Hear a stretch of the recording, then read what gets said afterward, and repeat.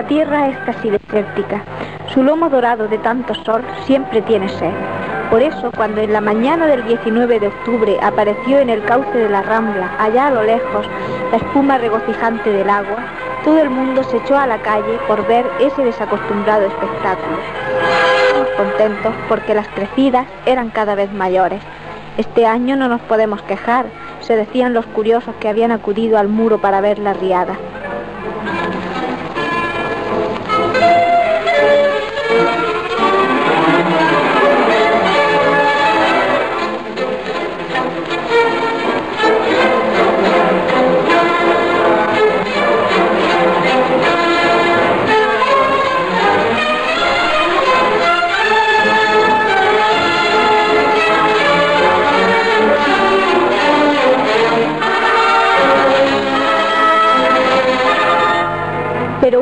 Espeso y amenazador hacía volverse los paraguas y la lluvia cada vez más pertinaz tendía ante nosotros una apretada red. Poco a poco las tierras de los laterales iban recomiéndose por el empuje decidido del agua y las edificaciones circundantes comenzaron a desgajarse y a caer en su feroz torbellino, como podemos apreciar en tantas imágenes.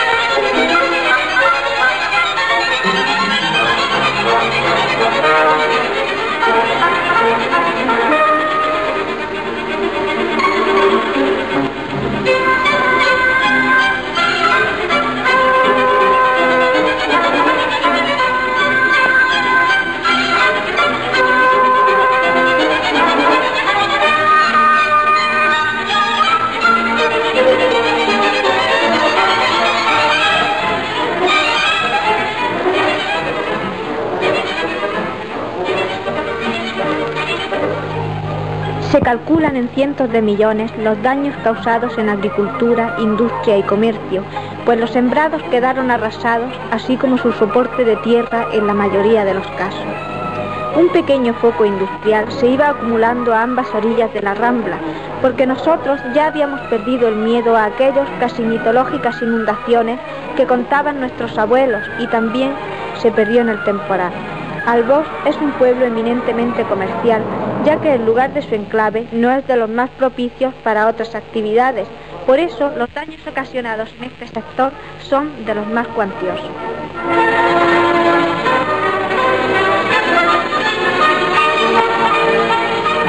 Aquello no era agua, se había convertido en barro espeso con una fuerza incontenible. Las olas se alzaban en túmulo de ensueño a alturas inimaginables. El puente, el puente del pueblo soportó durante varias horas su impulso destructor.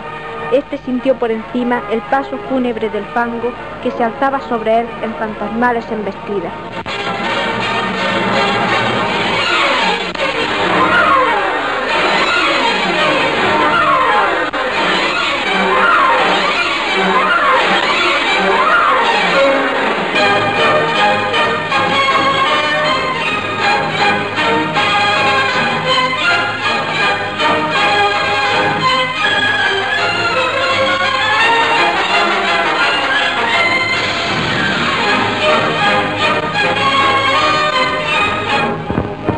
Como las hordas salvajes ante un ataque masivo, el agua no cejaba ni por un momento en su empeño, como si se hubiese propuesto la destrucción total a costa de lo que fuera. Las treguas eran cortas y a cada nueva embestida los ojos del puente lanzaban por sus enormes agujeros toneladas de agua que con furia buscaban un camino libre de obstáculos.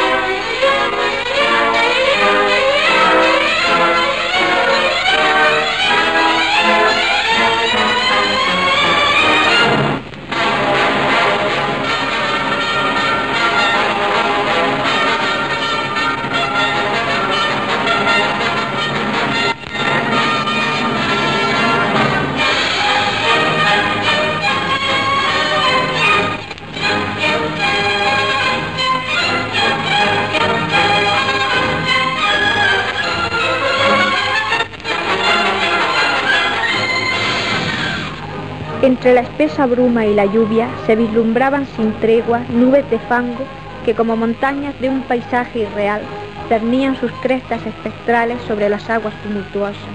En su choque continuo con la superficie líquida, anunciaban el preludio de nuevas crecidas.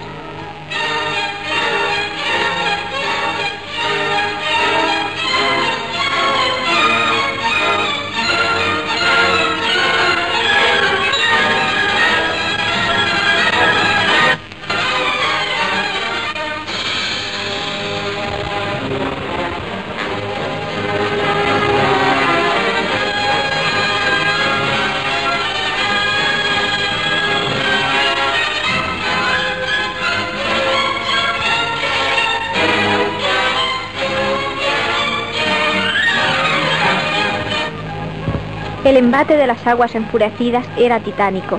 Los edificios y vehículos que encontró a su paso se desmoronaron como si fueran de cartón y aquel líquido compacto y gris arrastraba para sepultarlos en cieno en seres e ilusiones de aquellos que contemplábamos horrorizados el siniestro.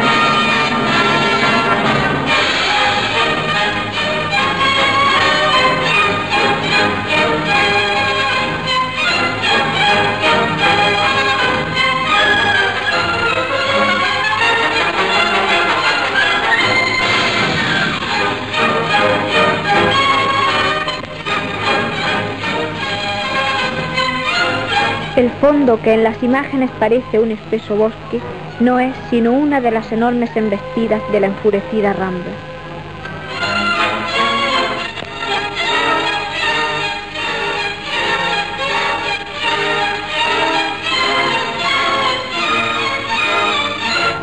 A su paso ceden las tierras de labor arrastradas por el torbellino, dejando en su lugar verdaderos seriales cuya puesta en marcha será muy difícil en unos lugares e imposible en otros.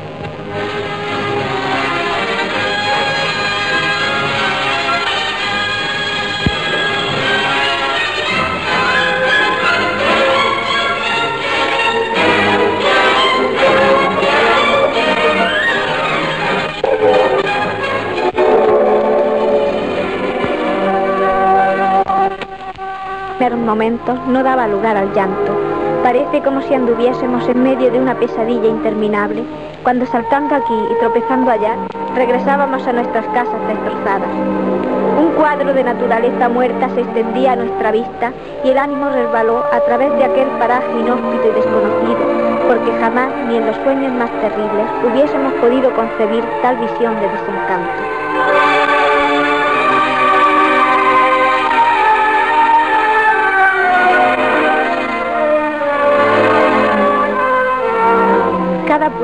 Cada hueco de las viviendas se había convertido en un osario cuyos esqueletos de enseres yacían sin vida, como si hiciese cientos de años que ningún ser humano hubiera hollado con sus pies el suelo.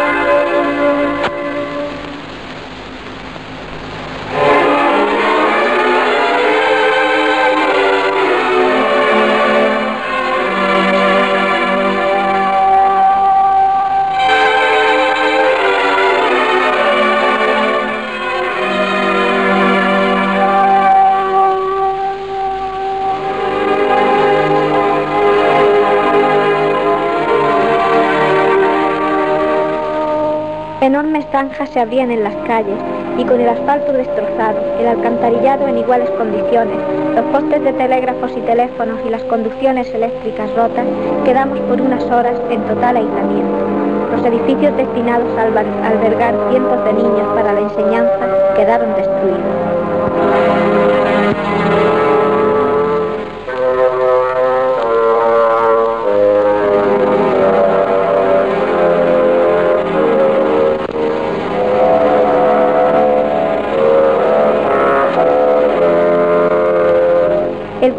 La Rambla ha aumentado reclamando para sí lo que nosotros en una lenta expansión le habíamos quitado.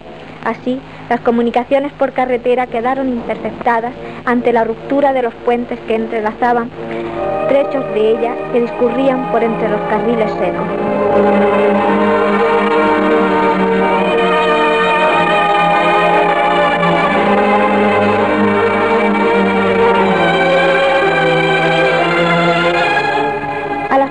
Horas de la mañana del día siguiente se presentó en el pueblo el subjefe provincial del movimiento, que buscando caminos porque las calzadas eran inaccesibles, nos trajo su apoyo y uno de los primeros alicientes para emprender la tarea de reconstrucción.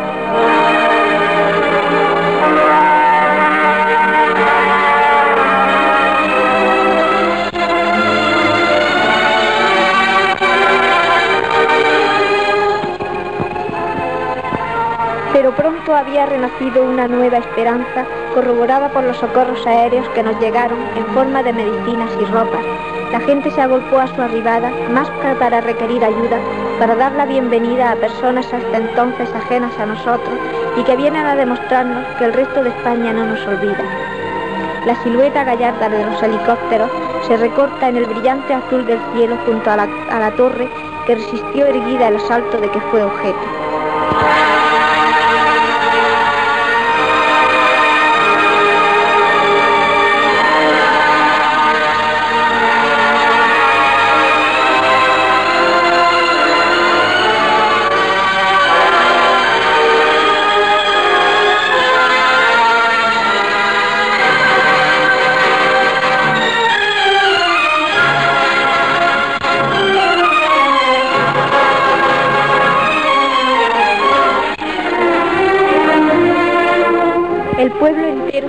En la operación limpieza. Para ladear los montoneros de escombros que se apilaban en las calles, fueron necesarios contingentes de máquinas y brazos.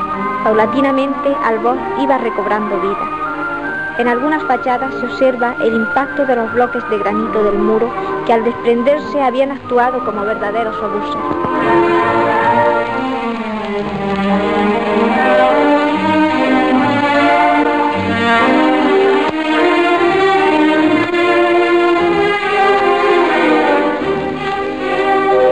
Coraje no derrochó el pueblo de Albor en aquellos días inolvidables.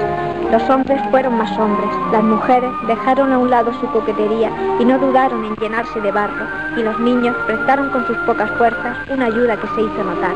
Y es que, si grande fue la tragedia, grandes fueron las esperanzas de repararla.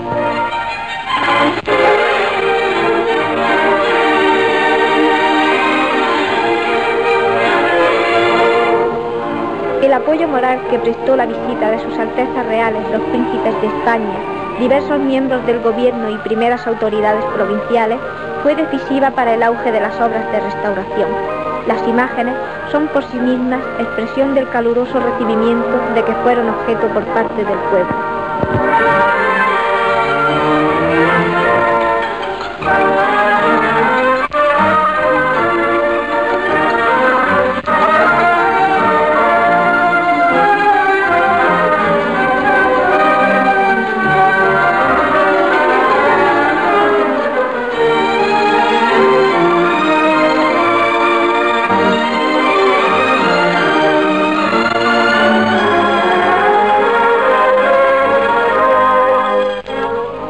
Autoridades locales y provinciales estuvieron constantemente reunidas con el fin de solucionar de la mejor forma posible la multitud de problemas agolpados. Asistimos finalmente a la voladura del grupo escolar enclavado en la ribera derecha de la Rambla. Imágenes filmadas por José Miras Carrasco y Miguel Romero Galera. Textos de Maribel Campos.